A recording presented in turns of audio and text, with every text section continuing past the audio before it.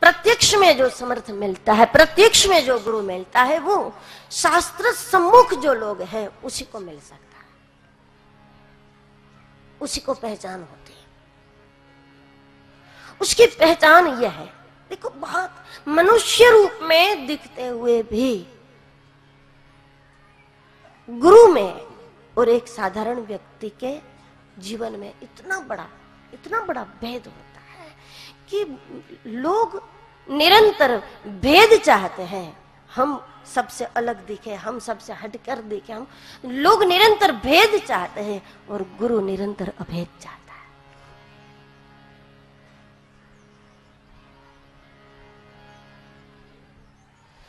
लोग जैसे है, वैसे बने रहना चाहते जो आदत हो गई, जिस प्रकार का आपका जीवन, जो स्वभाव बन गया, आप उसी में कैद रहना चाहोगे कि हमको तो बस ऐसा ही पसंद है। जो प्रतिवर्ष हम करते हैं, जो बचपन से हम करते आए हैं, हमको वही पसंद है। जबकि गुरुत्व जो है, वो निरंतर परिवर्तनशील होता है, उसमें बदलाव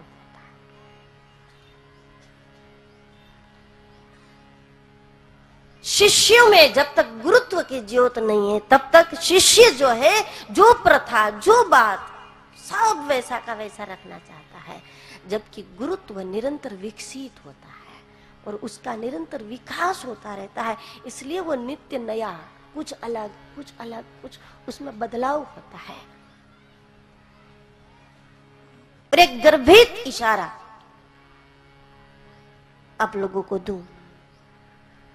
कि जो निरंतर भीतर से विकसित है, उसके व्यवहार में बदलाव निरंतर होता है।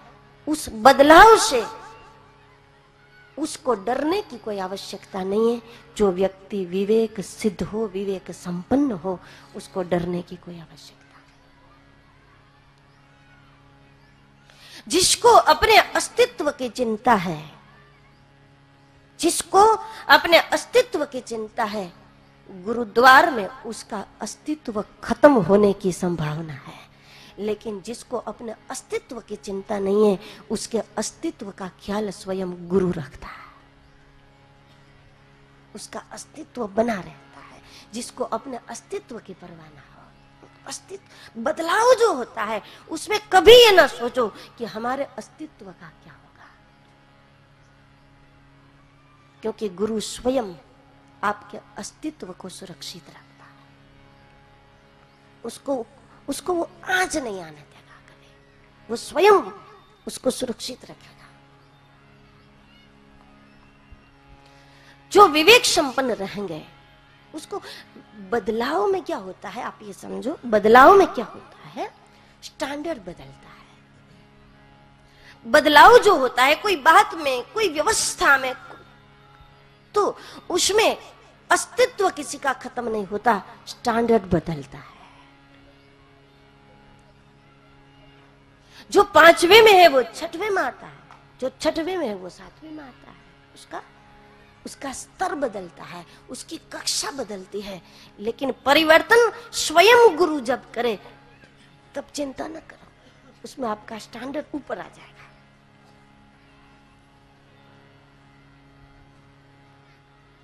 क्योंकि सामान्यतः मनुष्य की जो प्रकृति है, जो स्वभाव है, वो वैसा का वैसा रहना चाहता है, जबकि गुरु निरंतर विकसित होता है। और निरंतर विकसित होता है तो उसमें बहुत बदलाव होता है। लेकिन वो सुरक्षित रख लेता है जहाँ विवेक है। गुरु और शिष्य का जो संबंध है वो अलौकिक होता है और अलौकिक होने के कारण अटूट होता है। जिसमें लौकिकता है, जिसमें भौतिकता है, वो टूटता है। जिसमें अलौकिकता है, वो अटूट हो जाता है। कोई पवित्र स्थान से, कोई धर्म स्थान से, कोई महापुरुष से यदि आप जुड़े हैं तो वहाँ आप टूटोगे या अटूट रहोगे। ये आपको जानना है तो आप जान सकते हैं कैसे। आपको शुरुआत देखनी पड़ेगी। कोई मंदिर से, कोई आश्रम के से, कोई संत से, कहीं पे आप जुड़े हैं तो आप आप जो जुड़े हैं, उसकी जड़ को देखो, उसकी शुरुआत को देखो। यदि आपका उस व्यक्ति से, उस संत से, उस धर्मस्थान से, उस मंदिर से, यदि आपका संबंध जो है, वो आपके संबंध की शुरुआत जो है वो यदि आकर्षण से हुई है, आकर्षण से हुई है तो समझ लो संबंध था ही नहीं तो फिर रहेगा कैसे? कुछ लोगों के संबंध की शुरुआत ऐसी है कि बड़ा आश्रम देख लिया तो संबंध बना लेते हैं। कि इससे कोई लाभ हो जाएगा, हमारी पहचान हो जाएगी। इसलिए जुड़ जाते कुछ लोग संत का कोई नाम बड़ा हो जाता है तो फिर उसके साथ जुड़ जाते हैं। कि बड़ा नाम जिसका उसके साथ उसके साथ जुड़ जा, लाभ हो जाएगा, भौतिक लाभ हो जाएगा। तो बड़ा नाम देख करके आप जुड़े हैं तो ये समझ लो, आपका उसका संबंध अलौकिक था ही नहीं, और जिसमें अलौकिकता नहीं है तो उसका कोई अस्तित्व नहीं है। जानते कभी कभी आप ये समझते हैं कि मेरे भाई के साथ मेरा संबंध था लेकिन अब नहीं है। था ही नहीं। था ही नहीं। आप जाते आते थे, उसके चाय पानी खराब कर देते, उसका टाइम लेते थे। था ही कहा?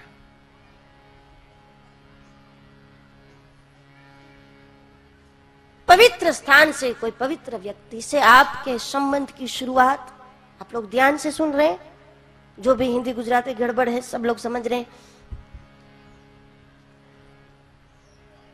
आपके संबंध की शुरुआत जो है, आपकी नींव जो है, वो नींव ये नहीं होनी चाहिए कि बड़ा नाम है, चलो जुड़ जाओ। पैसा ज़्यादा है, जुड़ जाओ। आश्रम बड़ा है, चलो लग जाओ। आपके संबंध की शुरुआत भौतिकता नहीं है। आपके संबंध की शुरुआत यदि अलौकिकता है। आकर्षण से आप जुड़े हैं तो जुड़े ही नहीं है। जब संबंध ही नहीं है तो अस्तित्व का कोई सवाल नहीं है।